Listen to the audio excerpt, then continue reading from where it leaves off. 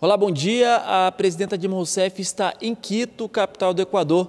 Lá, ela vai participar da sessão de abertura da quarta cúpula de chefes de Estado e de governo da Comunidade dos Estados Latino-Americanos e Caribenhos, a CELAC. Depois, ela participa da foto oficial com representantes de outros países. Também está previsto a realização da cerimônia de retiro dos chefes de Estado e de governo. Depois, a presidenta Dilma Rousseff vai participar de um almoço oferecido pelo presidente do Equador, Rafael Correia, aos chefes de Estado e de governo da CELAC. O retorno da presidenta Dilma Rousseff a Brasília está previsto para acontecer ainda hoje.